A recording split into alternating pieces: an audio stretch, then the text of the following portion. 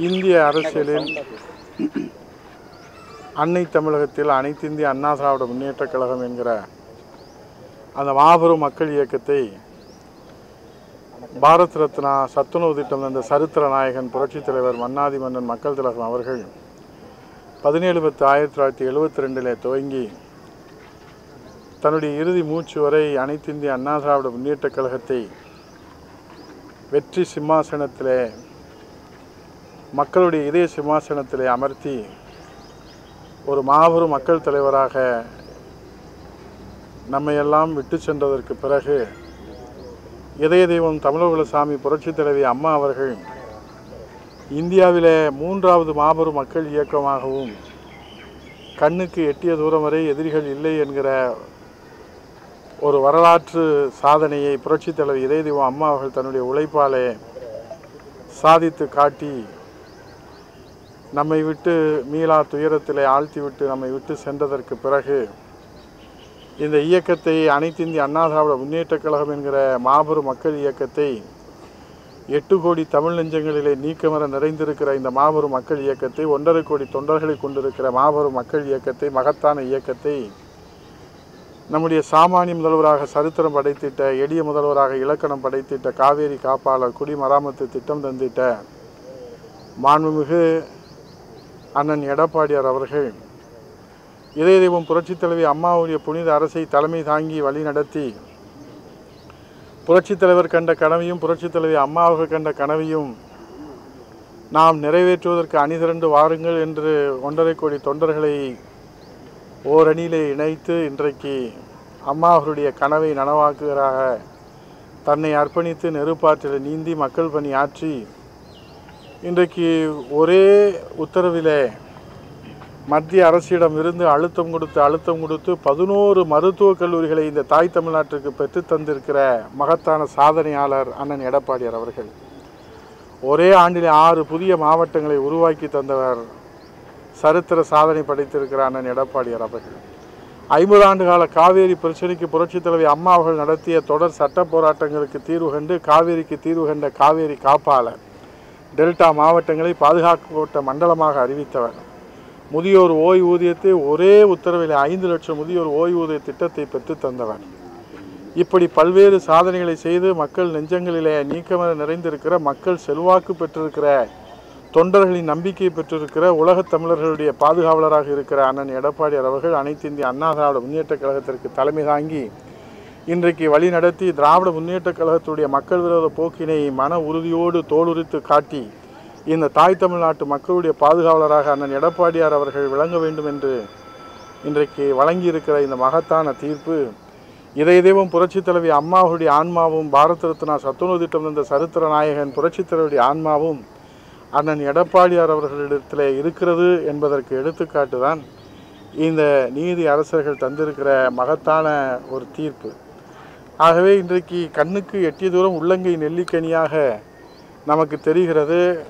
இன்றைக்கு கிளைக்கழகம் முதல் தலைமைக் கழகம் வரை அத்துணை நிர்வாகிகளும் தொண்டர்களும் அண்ணன் எடப்பாடியார் அவர்களை ஆதரித்து அவர் காட்டுகிற வழியிலே இன்றைக்கு மக்கள் பணி ஆற்றி மக்களுக்கு சேவை செய்து அனைத்து இந்திய அண்ணா திராவிட முன்னேற்றக் கழகத்துடைய பெருமையை கட்டி காப்பதிலே தயாராக இருக்கிறார்கள் அண்ணா திராவிட முன்னேற்றக் கழகத்துடைய உண்மை தொண்டர்கள்.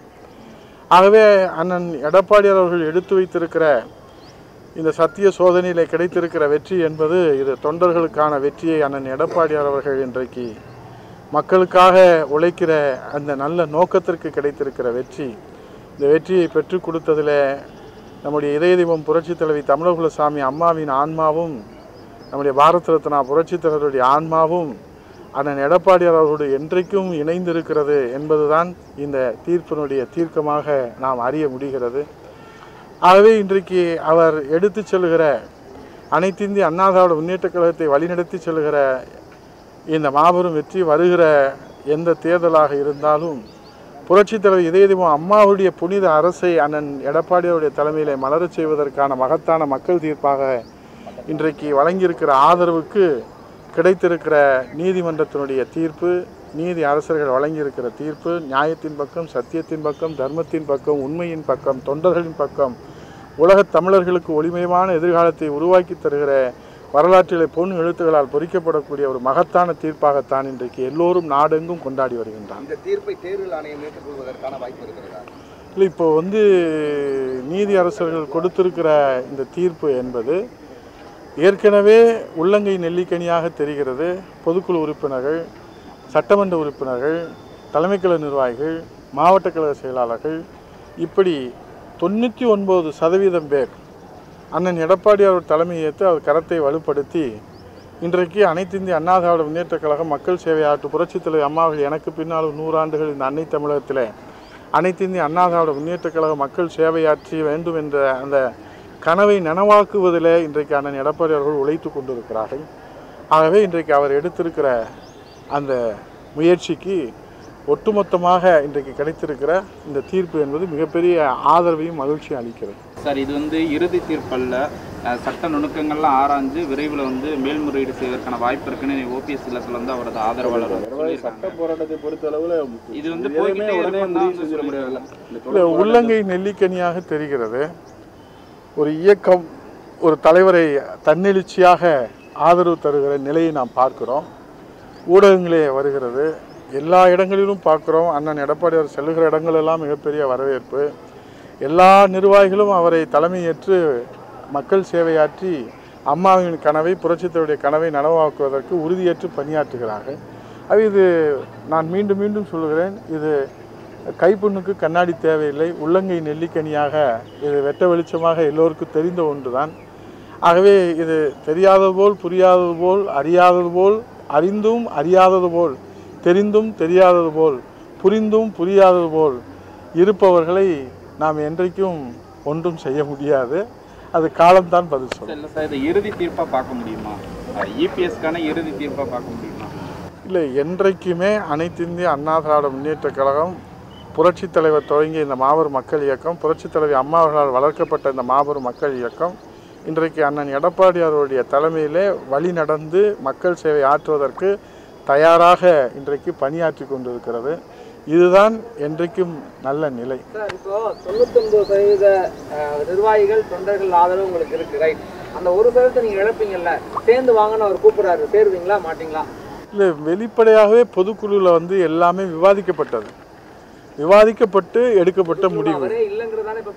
பொதுக்குழுவில் எல்லா விவரங்களும் விவாதிக்கப்பட்டு அலசி ஆராயப்பட்டு நன்மைகள் ஆராயப்பட்டு எதிர்காலம் ஆராயப்பட்டு விவாதிக்கப்பட்டு ஏகமனதாக ஒருமனதாக ஜனநாயக முறைப்படி எல்லோரும் பரிந்துரைக்கிற அந்த கருத்துக்களை ஏற்றுதான் அந்த பொதுக்குழு தீர்மானங்கள் நிறைவேற்றப்பட்டு அதற்கு இன்றைக்கு நீதி அரசர்கள் வழங்கியிருக்கிற மகத்தான தீர்ப்பு. சார் ரெண்டு பேருமே தொண்டர்கள் எங்களிடம் தான் இருக்குன்னு திருப்பி திருப்பி சொல்றீங்க. நீங்களும் உள்ளங்கை நிலைக்கின்றீங்க அவரும் அதே உள்ளங்கை நிலைக்கினி தான் சொல்லிட்டு இருக்காரு எங்கிட்ட தான் தொண்டர் இருக்காங்க.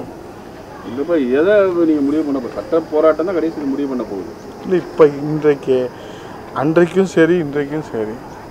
இன்றைக்கு அனைத்து இந்திய அண்ணா திராவிட முன்னேற்றக் கழகம் புரட்சித் தலைவர் புரட்சித் தலைவி அம்மா இப்போது அண்ணன் எடப்பாடியார். இதுதான் சகாப்தம். இதுதான் அத்தியாயம். இதுதான் உண்மை இதுதான் சத்தியம் இதுதான் எதிர்காலம். நன்றி வணக்கம். அண்ணா, ஒரே ஒரே ஒரு கேள்வி. இப்ப ரெட்டலை ரெட்டலை எங்க இருக்குதோ அங்க நாங்க போய் சேருவோம் உங்களை விட்டு புரிஞ்சு போனோம்